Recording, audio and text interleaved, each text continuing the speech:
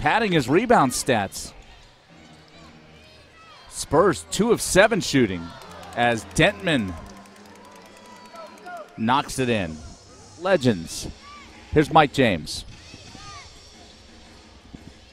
James over to Dentmon, fires the three. Good, and he's fouled.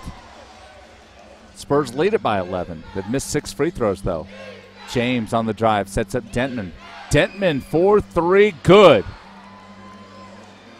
To his left.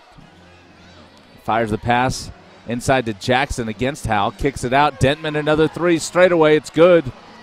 Same shot, same result. Justin Dentmon with 15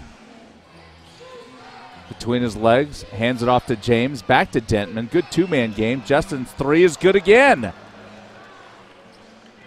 Down Griffin, he yanked it away from Murphy. Here come the legends.